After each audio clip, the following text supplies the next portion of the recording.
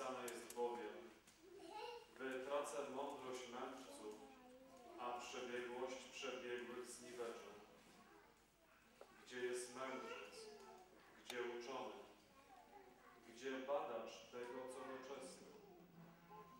Czyż nie uczynił Bóg głupstwem mądrości świata? Skoro bowiem świat przez mądrość nie poznał Boga w mądrości Bożej, spodobało się Bogu przez głupstwo głoszenia słowa zbawić wierzących.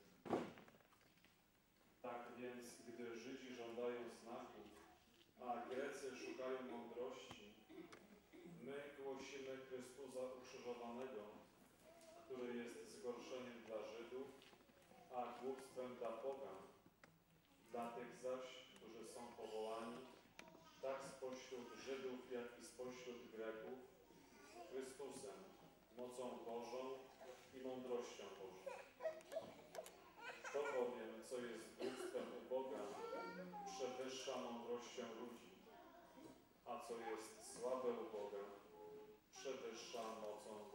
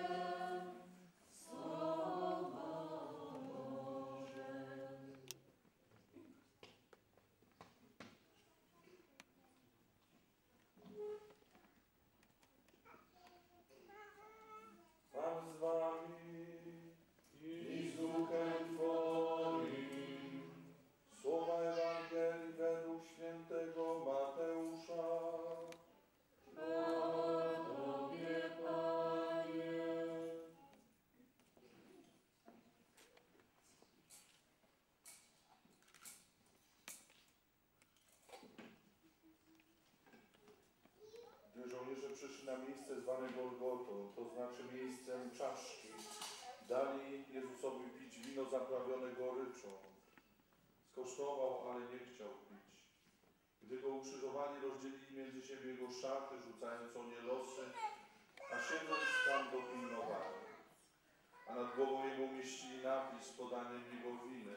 To jest Jezus, król żydowski. Wtedy też ukrzyżowano z nim dwóch złoczyńców, jednego po prawej, drugiego po lewej stronie. Ci zaś, którzy przechodzili obok, przeklinali go i potrząsali głowami, mówiąc Ty, który burzysz przybytek i w trzech dniach go odbudowujesz, wybaw sam siebie, jeśli jesteś Synem Bożym, zejdź z krzyża. Podobnie arcykapłani z uczonymi w piśmie i starszymi, szydąc powtarzali, innych wybawiał, siebie nie może wybawić. Jest królem Izraela, niechże teraz zejdzie z krzyża, a uwierzymy w Niego. Zaufał Bogu, niechże go teraz wybawi, jeśli go miłuje. Przecież powiedział, jestem Synem Bożym. Tak samo lżyli go i złoczyńcy, którzy byli z nim ukrzyżowani. Od godziny szóstej wrog ogarnął całą ziemię, aż do godziny dziewiątej.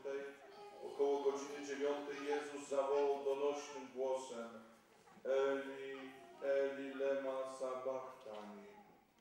To znaczy, Boże mój, Boże mój, czemuś mnie opuścił. Słysząc to niektórzy ze stojących tam mówili, on Eliasza woła. Zaraz też jeden z nich pobiegł i wziąwszy gąbkę, napełnił ją octem, włożył na trzcinę i dawał mu pić. Lecz inni mówili, poczekaj, zobaczymy, czy przyjdzie Eliasz, aby go wybawić. A Jezus raz jeszcze zawołał donośnym głosem i wyzionął ducha. Oto słowo Pańskie. Chwała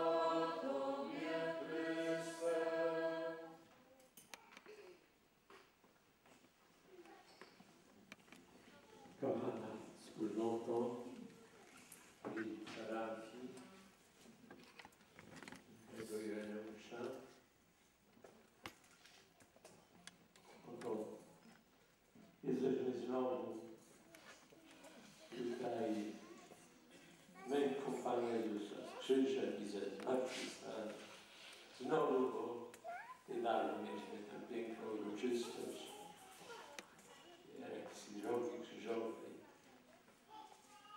Pan wiele przypomni tej ogromnej, ogromnej miłości Boga do nas. Dzisiaj takie potwierdzenie tego, tego zamieszkania krzyża tutaj w tym domu, w tym kościele, którego się bardzo cieszymy. Niech zamieszka krzyż zwycięski.